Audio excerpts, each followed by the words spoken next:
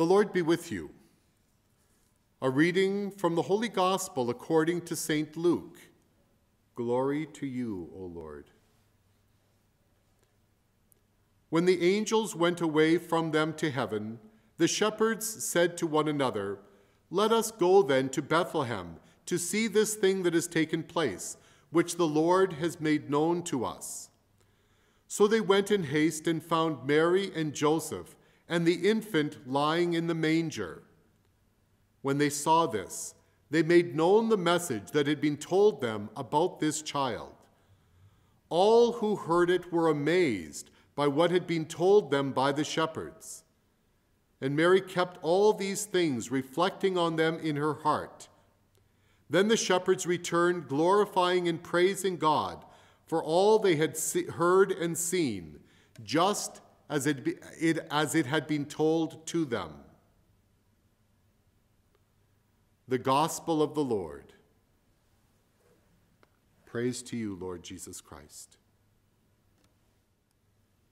My dear friends, we are coming close to the end of the Advent season and the celebration of Christmas. And this year's celebration of Christmas is going to be so different than anything that we've ever experienced before. And I just pray that you'll have a really blessed Christmas, that God will bless you in very many ways, and that it will really be a happy Christmas for each and every one of you. You know, we looked at already about believing in what God has said to us, like Mary did when the angel asked her to be the mother of Jesus. We also looked at doing something about this, do, putting into practice the gifts that God has given to us. But when we look at the birth of Jesus in Bethlehem, we also see that we need to receive the gift of God. It's not enough just to believe, but to receive, to hear God's word, to pray, like Mary did. It said that Mary pondered all of these things in her heart. She thought about them, she prayed about them, so that she could, with God's help, understand what God was doing more and more clearly we need to pray as well. We need to think about what God has done. We need to be able to rejoice, to be happy about the fact that Jesus has come into this world. But another way that we receive Jesus is not only by praying about things, thinking about all that God has done for us, but it's also to receive Jesus in Holy Communion. Now, I know not, that not all of you are able to do that. But it is something that's very important because when we look at the birth of Jesus, his first resting place was in a manger. Well, what is a manger? A manger is a feeding trough for the animals.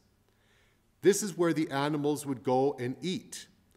But this is showing to us that one day Jesus was going to give himself to us as the bread of life, that Jesus was going to become our food so that we could receive him into our very bodies and allow him to change us, to transform us, to be closer and closer to him, so that we can live close to Jesus in this life, but also to be with Jesus forever in heaven. Because that's really what our hope is. In this life, it's not always going to be easy. To be a follower of Jesus, to be a disciple of Jesus, Jesus told us that it wasn't always going to be easy and that there were going to be some tough times that we have to go through. Whether, we're, whether we follow in the ways of Jesus or not, we're all going to go through tough times. But what is so marvelous about God's promises to us is that through those tough times, we can one day uh, go from this life into eternal life and to be happy with God forever in heaven. So when we think about the birth of Jesus, we think about the gift of God. That God has given us this tremendous gift of Jesus, but we need to receive this gift, just like the gifts that we're going to get at Christmas. It's wonderful for people to give us gifts, but we need to receive those gifts.